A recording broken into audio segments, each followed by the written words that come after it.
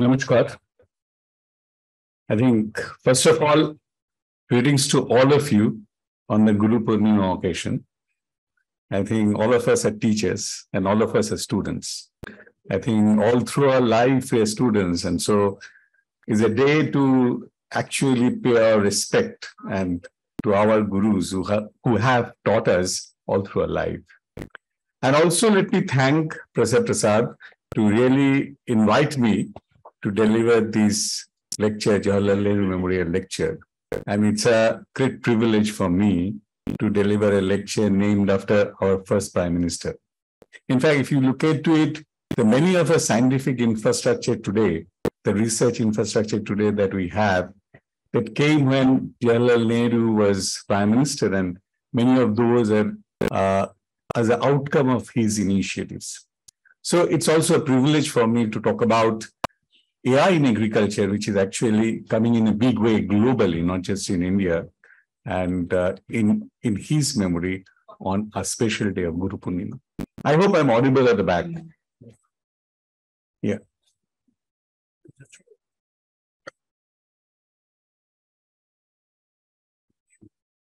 Hmm?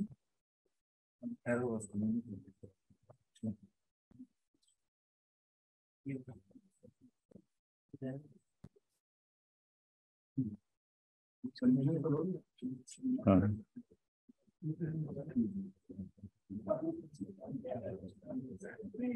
इस पे तो स्लाइड शो में लगेगी।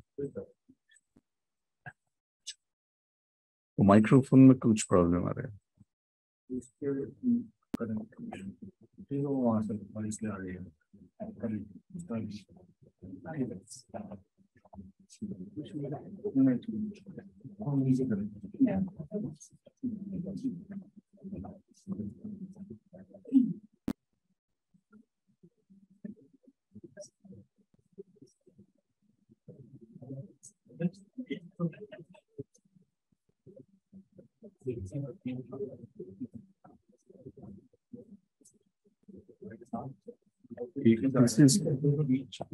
बीच में आ रहे हैं।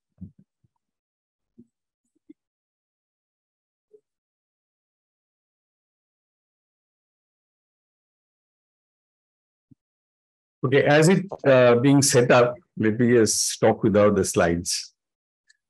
The point is that today, why are we talking about about AI in the space of agriculture? And in fact, uh, Secretary DARE and DG very clearly pointed out that today the whole demand and requirement is for data and the quality data, reliable data, and data with complete confidence in terms of storage. The other part which also comes with data is protection of data. So therefore, the entire data infrastructure is actually will define the future policy, prosperity, and growth of a nation. And if we talk about the water, oil as the basic necessity for growth, today data has become actually a necessity for growth. Therefore, a country which has got the best quality data in terms of all its attributes, properties, and origin can really drive the world in terms of technology. And for driving that, actually, if you look into it, the key point which is, has come up is the tools. In fact, all of you already you have a cloud running, which is serving across the country. And so the entire big data framework, which is very, very essential today, is actually a backbone to AI. So why I started, I picked up AI as a topic because it's actually interfaces with the big data infrastructure with which you are working with. And in fact, today, if you look into it, uh, in many cases, the whole database technology has also changed. But instead of looking into relational data and the structured data representation, if you look at this MongoDB and this, uh, uh, this kind of a big data database systems, which can actually store unstructured data, I can have a variety of information in the database at a given point in time. And that is a value because it's not just the numeric data that I can work with. I can also work with symbolic data. I can work with different kinds of data types. In fact, in terms of even documents, at the same time with the numeric data for generating insights and analytics, which is being enabled by AI. So therefore, diversity of the data, the that is really the today's challenge. And to get reliable data, we need to have diversity associated with the data and not just the numerical data. So for example, uh, that point which was being talked about, the rice being measured in terms of paddy crop or the grains. Now, both the data can be actually stored in a very unstructured database, which is today MongoDB is an example. And all of these enables us to look at from an AI perspective the validity of the data as well as their associations with different physical observables. So therefore, AI has to be there to work with that kind of a database to generate insights. Because if I have uh, uh, billions of data items, and in terms of, uh, if we talk in terms of petabytes, even beyond that of the data, it's not possible humanly to consume the data or use tools, which is through an interactive process, we can use them. We have to go into a different level of algorithms. And that's exactly the big data challenge. And AI interfaces with that big data challenge. Although it doesn't really address the big data issues per se, but when we are looking at it from a statistical institute point of view, there's also a huge open issue. How do you actually map all of these computation in the context of a big data storage system? So therefore, that's the key point why, why we are looking at this whole point. Uh, let's look at today's key AI techniques, technologies. Is there any question? No.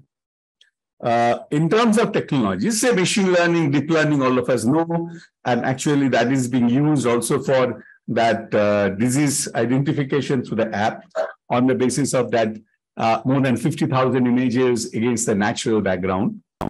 But today, a major AI initiative is and technology breakthrough is generative AI. And generative AI as, is actually changing. In fact, I just gave the example of Chat GPT-4. I think when reading newspaper reports, yourself might, might be trying it out. Your uh, young son, daughters must be doing uh, things with that and coming to you. But Chat GPT actually is a revolutionary step in the in the AI tools coming to the public space. And yeah, yeah, yeah. Just let, let him Yeah, I shall maybe to the to the end I shall try to answer. So chat chat GPT is actually use of generative AI. And what is that? What it does? Actually, the whole challenge is because we have to understand that very well. Because tomorrow's all kind of services that we are really talking about today on the app will move on to chat GPT platform. And if we do not make an initiative in that direction, actually what will happen? All the multinationals will come in, take your data and put it across similar platforms and make money out of it. Okay, so this is also something I, th I think it's very, very important for a lab like IASRI to look at and understand. The problem of ChatGPT is ChatGPT makes use of a huge data and the context the meaning of a word on the basis of which it generates an answer, the meaning of a word is generated on the basis of the context. And it's a linguistic context which is gathered over the textual data available on the web. It doesn't get into the semantics. I think this is the fundamental problem I think all of us should understand of the this kind of a big data and the AI with the big data.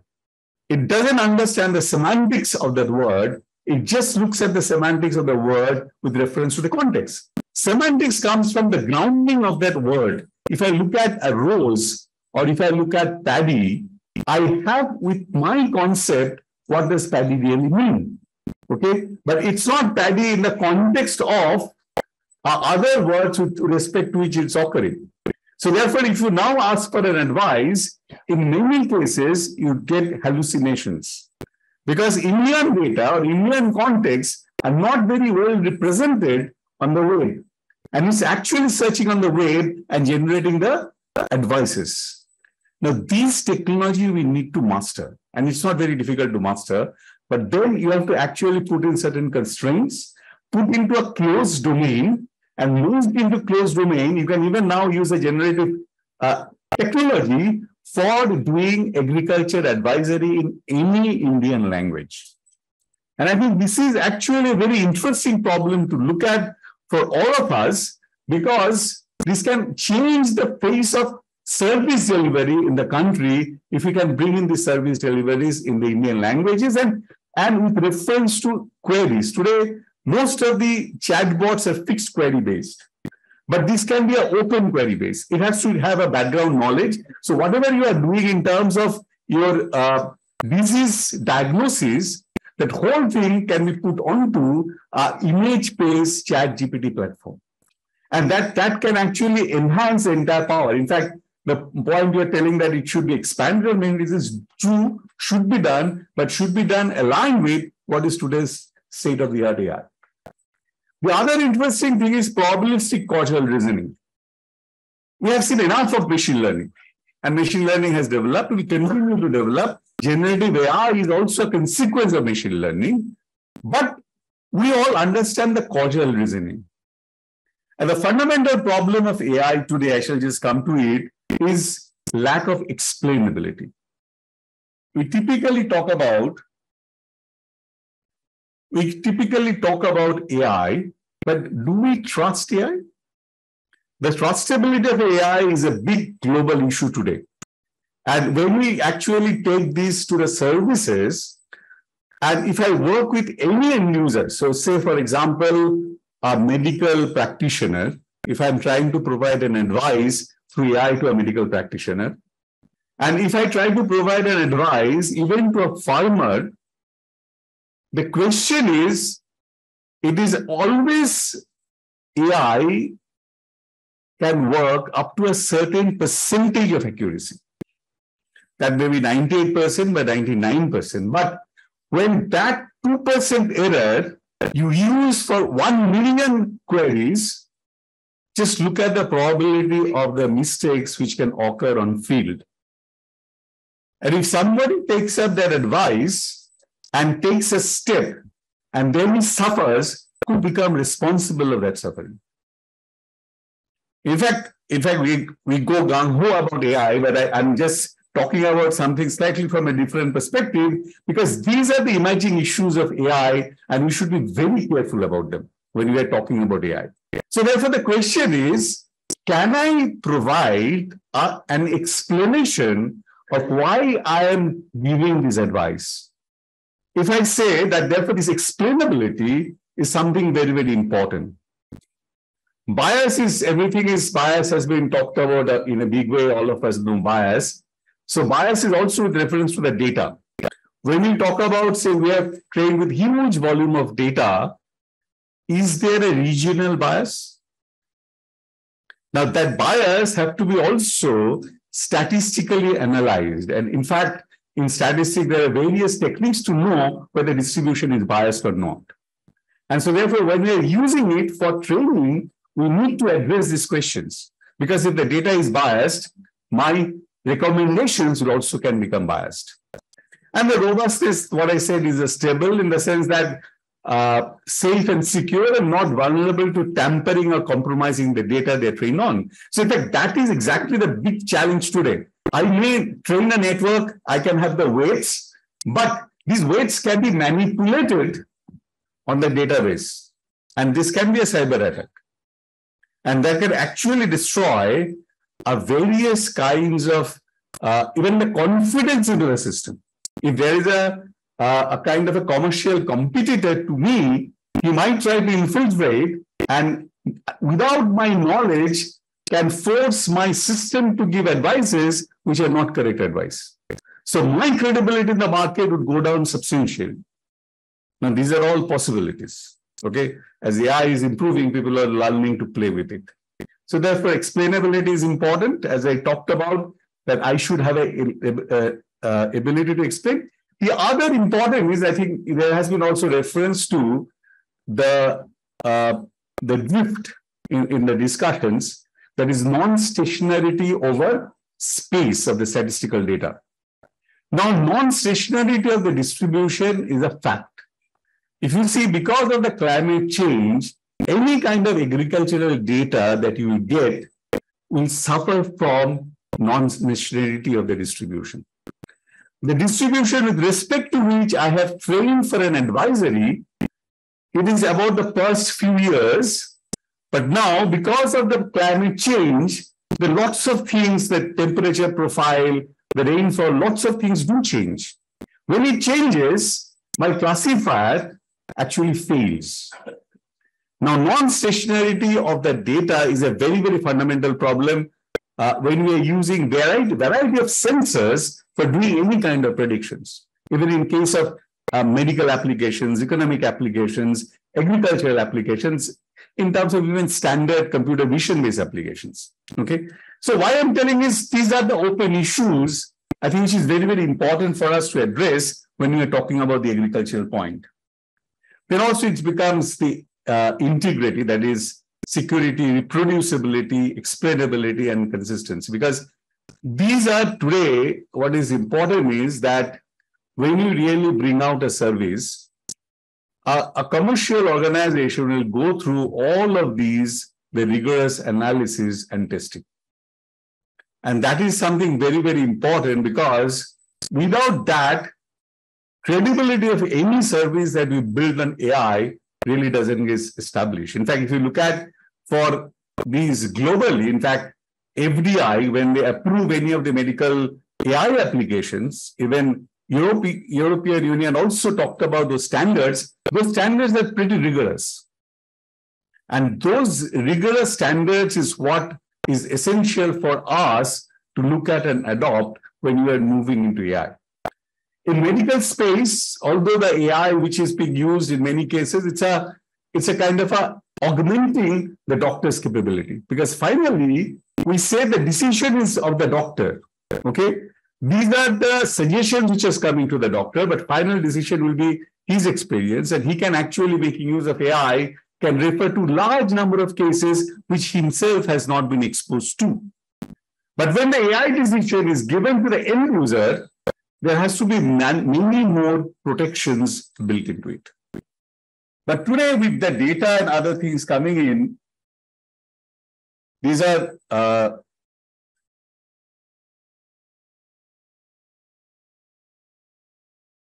so these are some of the things to be looked at, and as as we, is being was being talked about, this digitalization is today a major thing today.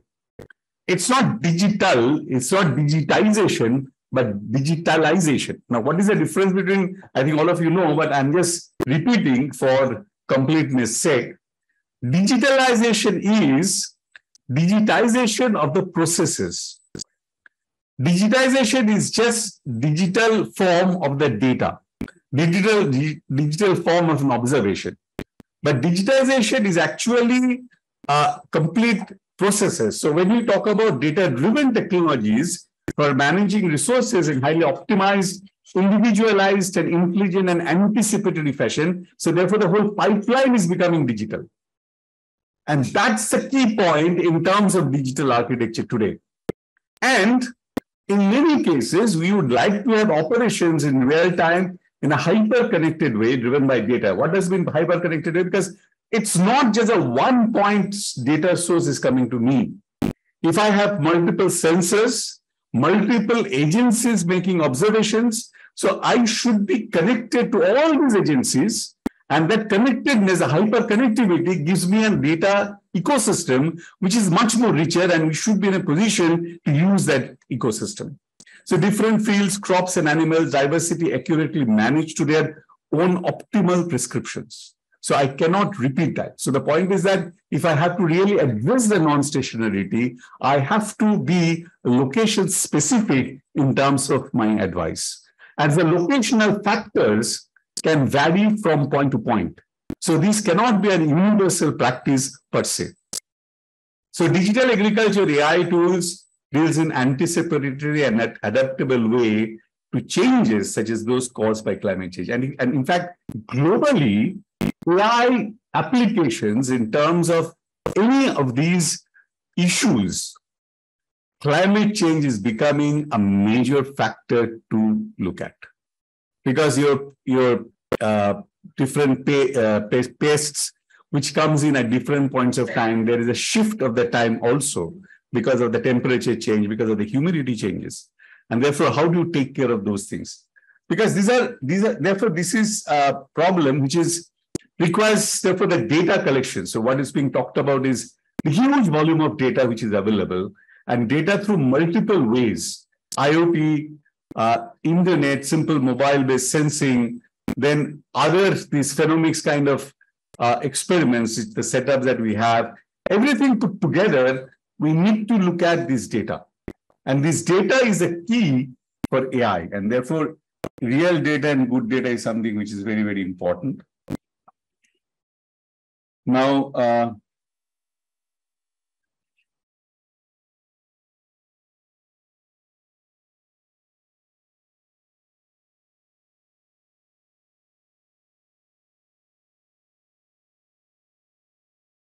and it's please stop.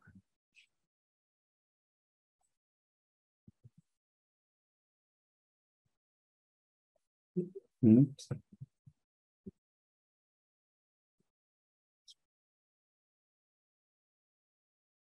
Somebody is just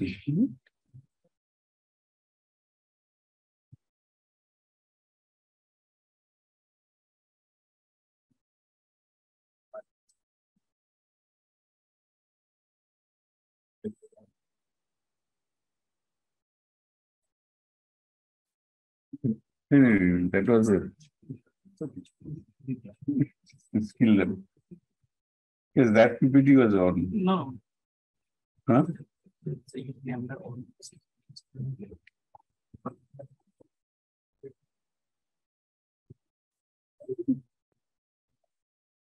तो share कर रहे हैं फिर हम्म हाँ Okay. So I shall try to talk about briefly this computer vision for phenotyping, Addison agriculture analysis and causal reading for agricultural recommendation. I shall not go, go into details in the background. I shall just touch upon them. So if you look into it, this plant phenotyping, in fact, the entire infrastructure which has been created at IARI, and we, we have worked with it and uh, setting it up, the imaging thing, it, it provides us a tool for plant phenotyping. There are hundreds of AI applications. Phenotyping is one such application. And in case of phenotyping, refers to obtaining the observable characteristics or traits jointly affected by their genotypes and the environment, and is formed during plant growth and development from the dynamic interaction between genetic background and the physical world in which plant develop. Now, why I use the word explicitly is because this phenotyping is also function of your change of climate. And therefore, these entire observations and measurements that has to be done, that has to be factored in with reference to these kind of drifts which can come in. Although most of the work which has been happening, in fact, is in the image space, and this is the basic flow. If you look into it, that image acquisition, uh, processing, segmentation, feature extraction, and classification. Now, these features that we use extract, that becomes impacted by the changes in the climate.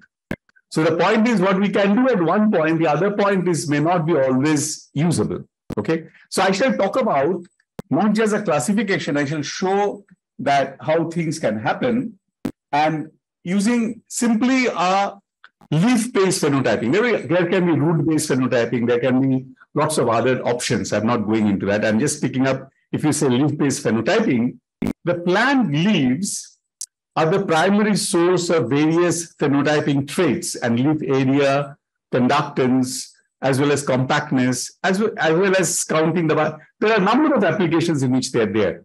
And if you see physically, that whole setup is talking about the different features of the leaves that are to be used for the purpose of phenotyping.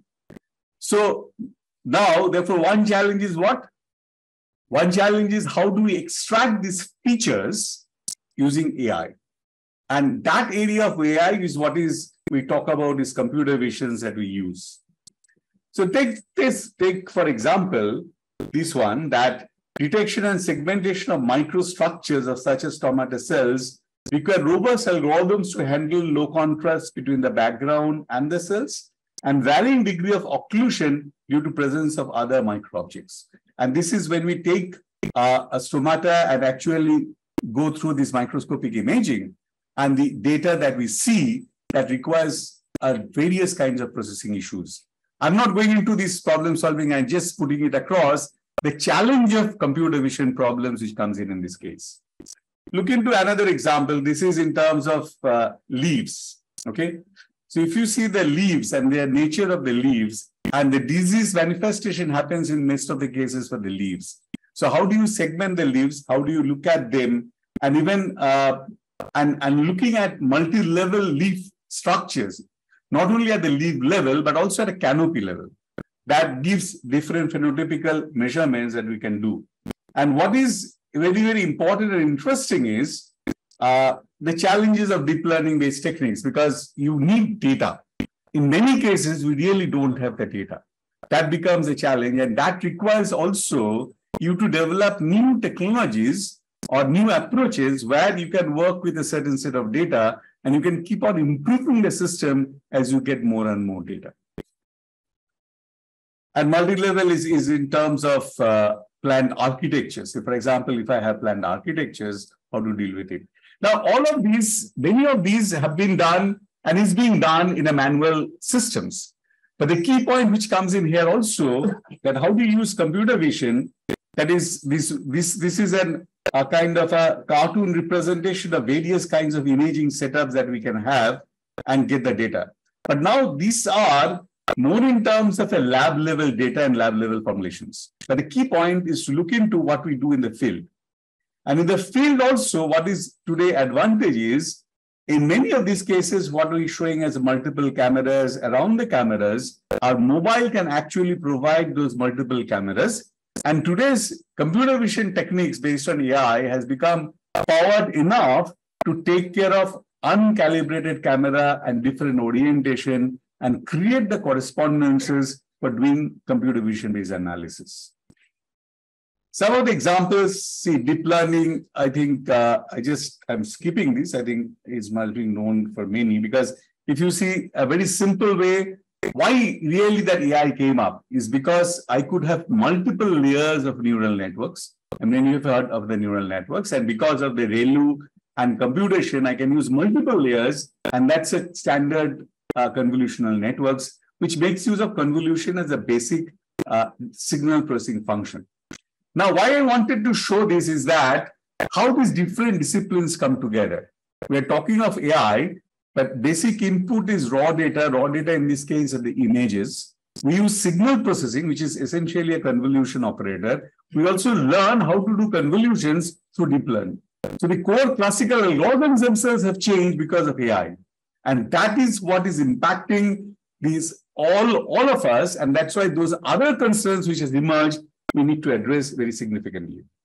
So look at one of these deep learning application that uh, based on these aerial images. In fact, this work has been done uh, with, with help of uh, Dr. Sahu and his drones and other things. And I wanted to just show these results.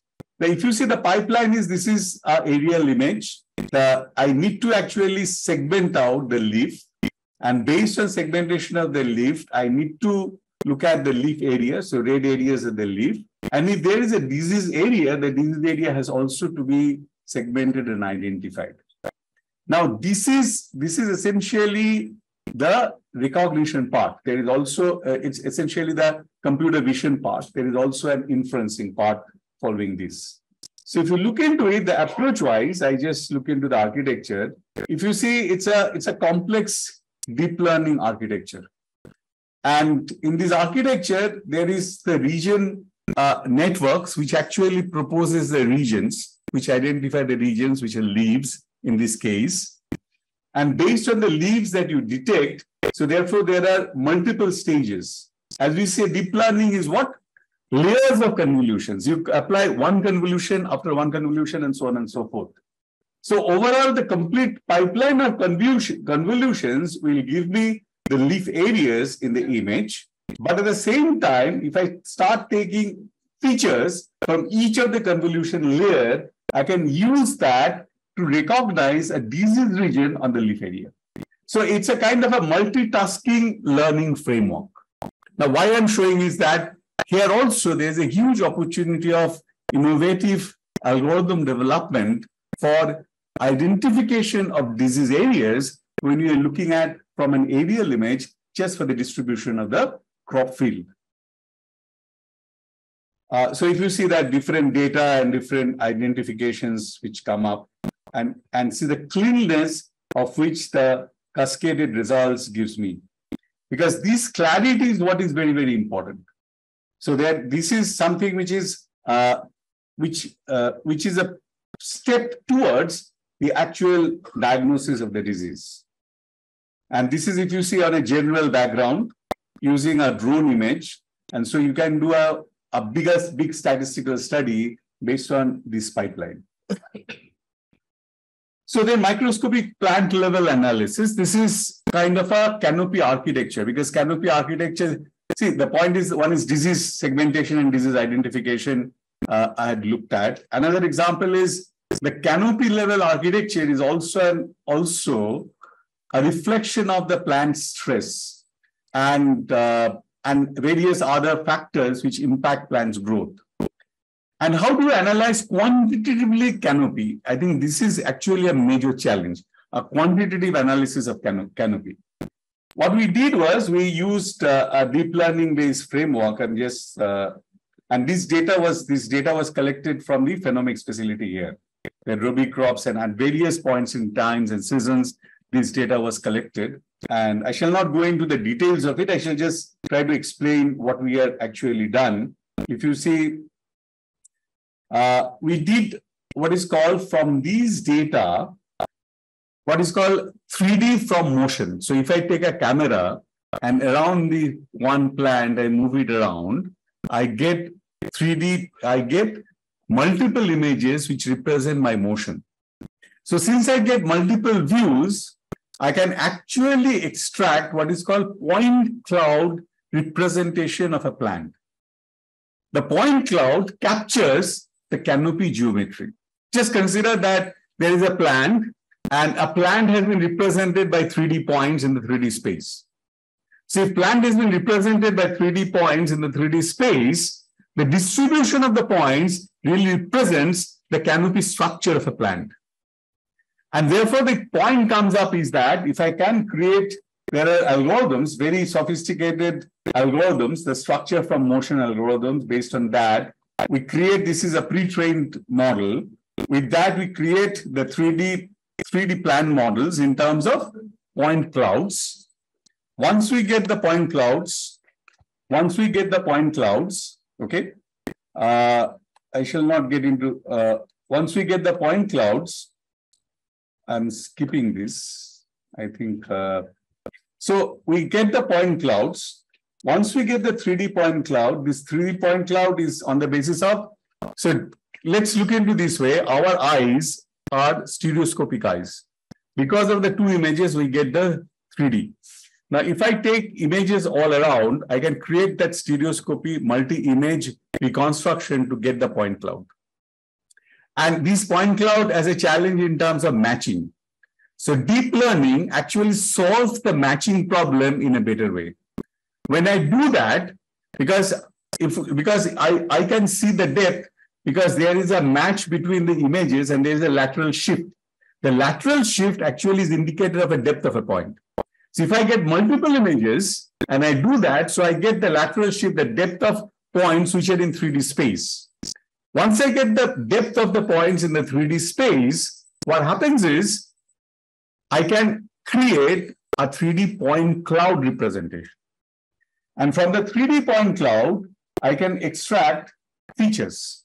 There are point nets, which are based on that. I don't need to create a 3D model, but point cloud itself, I can extract the features. And based on extraction of the, those features, I can evaluate the quality of the canopy, the characteristics of the canopy. And that with, with, with reference to standard classification schemes, you can do it.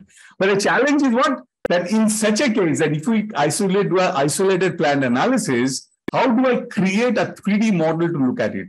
In most of the cases, we work with 2D images, but 3D is actually gives me the much better understanding of the canopy architecture and the effect of the stress on the plant. So, uh, so this part I, I shall uh, skip. Then the other, what is interesting thing is that we are looking at is the how to look at desert farming.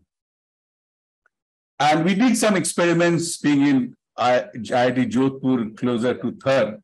We did some experiments and uh, essentially looking into the different factors. If you see that there are different issues in terms of uh, heat restraint species, and then these are also have sensors for heat. Based on that, they have the characteristics. And what is very interesting is that soil crust, which actually represents a kind of a ecosystem to support the plants to growth. And there are number of number of orga, uh, organisms which are in the plant crust. Okay, so if you see, this is the crust, and we actually did a bioprospecting of the class crust, and using metagenomics, we were trying to look at a genomic, uh, a kind of a bioinformatic model to suggest how an ecosystem of a plant can be created for its growth in a desert biosystem, in an arid ecosystem. So that's a very interesting problem. In fact, we did analysis of some of these trees, which are uh, Khejri, say for example, is a typical desert tree. And looking into the structure of its root and this biota around that, using bioinformatics as well as this kind of uh, physical measurements, we try to create a model for a uh, for actually a desert phenomics. Because that's also a very interesting point to look at because most of the cases we create situation in a synthetic scenarios. But we, when you move to the field, the understanding of the field is much uh, is much richer because we found that this soil crust and the metagenomics of the elements of the soil crust is actually has a very distinct characteristics in terms of supporting the desert plants. The last part I would like to touch upon is, I think five minutes I have, uh, uh, is, is a causal inference. Why? Because all of these which I talked about is a very traditional AI things, okay, in terms of analysis. And I have flagged that what are the addresses problems to be addressed. And I've used, as I told you, I my uh, I have picked up application. One is computer vision applications that I've illustrated how computer vision can be used. We said that we shall just try to address the arid zone cultivation and there metagenomics becomes a tool to be used with AI and other observations. So there are a number of tools. The question is, AI is a collection of tools. And when we bring look at AI in agriculture, we have to pick up the tools which are most appropriate for the problem at hand. And I gave example also the advisory as a ChatGPT. The last thing that I'm looking at is what is called causal inference. In fact, today, this is a major work which is happening in ML is also what is called causal learning. Why causal learning? Because it's very important for me to establish what I am suggesting, why I am suggesting. Take, for example, a problem for agricultural recommendations. The causal inference with observational data has been the subject of recent work in diverse disciplines, in fact, including agriculture. And digital agricultural recommendations, in many cases, lack experimental validations because those are predictions. Predictions are based on the past data, and that drift, which we actually talk about, can have impact on it. And what happens is that an observational causal, therefore, we need to look at these recommendations going beyond standard deep learning. So an observational causal inference framework can fill this gap by emulating the experiment we would have liked to do. Okay, that means if I am doing an uh, doing a recommendation, can I do an experiment and after that do a recommendation, which is not practical? But can I create a, a reasoning model for doing those kind of things? Okay. So uh, look at this that uh, what we are talking about that uh, an example here is uh, the problem that we look at is which has been is a very common problem in agriculture is recommendation for sowing time is critical for many crops and it's a function of soil temperature soil moisture ambient temperature during the first day after sowing and these play a crucial role in proper germination and emergence and ultimately determine the yield and its quality. Now we need and we use a multi-parametric forecast model. Now these forecast models in many cases are simple time series kind of predictions. We use a, we, a model and today typical even uh, with, with learning framework also, we create a predictive learning models. Now, this predictive learning models is just, if you look into it, is just statistical correlation. But statistical correlations does not take care of the possible drifts or causation. There's a very distinct difference between correlation and causation. So therefore, when we are suggesting a sowing time with respect to various parameters, we are actually going into the physics of the problem. Actually, there is a physics of the problem which suggests that this should be the correct sowing time. And the physics of the problem means there has to be a causal model and not just correlation model. So therefore, the whole point is that you are moving from a correlational model to a causal model to a more sophisticated inferencing and prediction framework. So if you look into it, this uh, uh, there has been this work on this is a basic framework I've tried to explain the basic framework. This framework is, let's say, I encode a farm system in the form of a directed acyclic graph. So, so far we have seen data, input data, output data, but now we're getting into a graph-based representation of farming itself. I said that digitalization is digitization of the processes. So if you look at the farming, the graph-based representation is digitalization of the farming process. And, and when we do that, what we say that the directed edges in a, in a graph A to B indicates causation from A to B. A causes B. And in the sense that changing the value of A and holding everything else constant will change the value of B.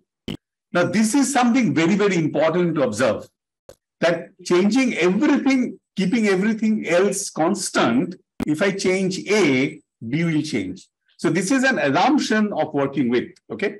And this is, and, and therefore what we do is, we define an operator in that graph, which is say a do operator. So what, and we represent it that the probability of y to take a value small y, when I take an action that is assigned small t to t, so therefore, it denotes the probability that the observable y would have a value y, given that we intervene on the system by setting the value of a variable t to t. So now these, these observables are therefore, the point is I therefore convert the graph into an active inferencing network where these interventions can actually be applied and see what could be the possible action if I have the causal network operating. So what we say that variable t of which we aim to estimate the effect as treatment and the variable y which we want to quantify the impact of t on as outcome. The parents of node are its direct causes while a parent of both the treatment and outcome is referred to as common cause or conf uh, confounder. So therefore there are confounder nodes and direct dependent nodes. Because if I keep my confounders constant, then I can estimate the effect of do operator much better way. But the moment I start using the confounder, the confounder impacts the effect of treatment. Now that model is something which is a very important causal model to look at, make the causal inferencing practical to the situations and scenarios which emerge.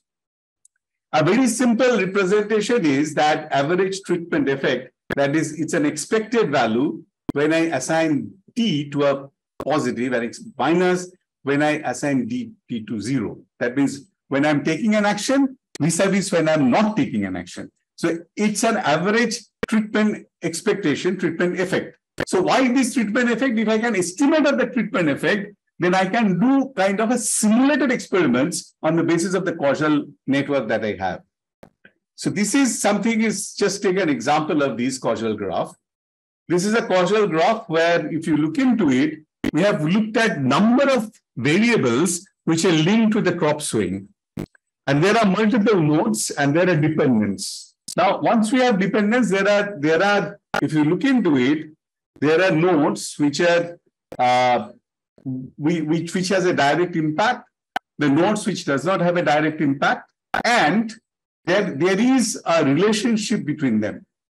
So on this node, if I now start taking these interventional effects, so therefore, if I if if I if I have this effect, then if I if I uh, apply a value t, then what will be the impact in this different observations in the farm?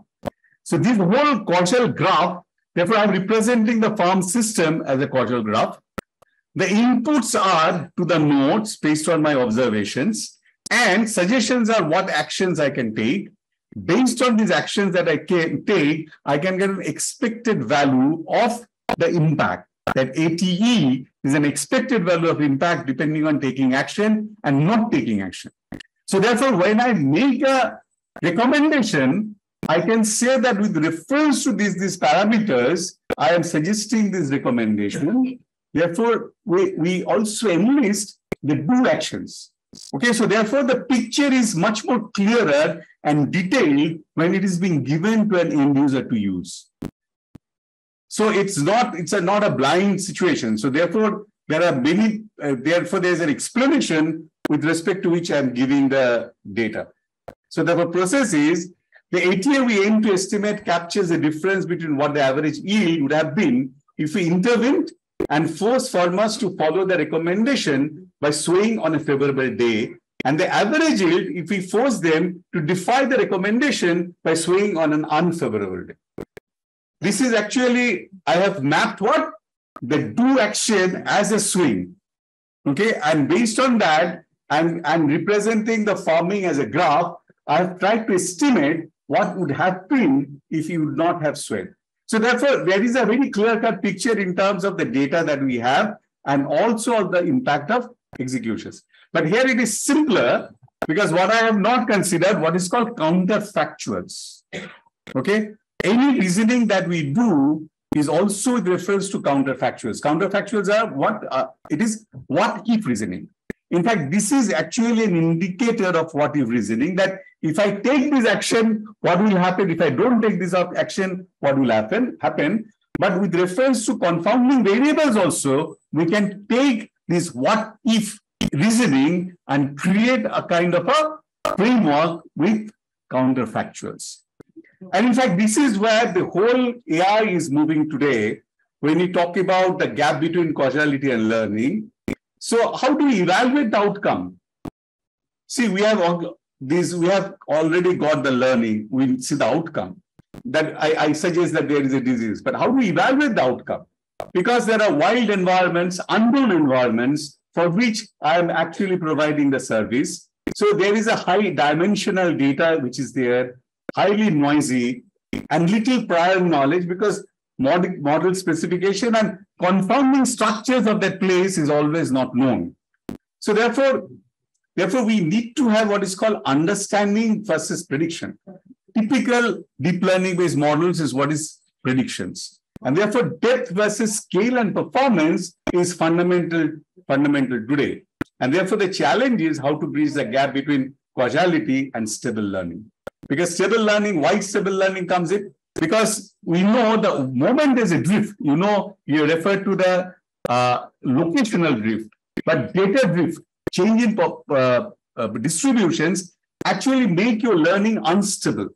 So how do you deal with that? That that is how the causality and unstable learning is to be looked at. Causality very clearly says that this is a noise. This is not to be looked at. But a learning model does not distinguish a noise in the data and makes inference making use of the noise. And hence, in many cases, it is unstable and gives random errors when you use it without taking this understanding in fact. So therefore, there has been lots of work which has been done that structural causal models. In fact, structural causal model, the graphical model that I've shown, I have hand constructed that model, but now there are machine learning algorithms to construct such models. Okay. And then inferencing on those models. And these are structural causal models, a very uh, mathematical representation, and which the core of the model is DAG, directional graph.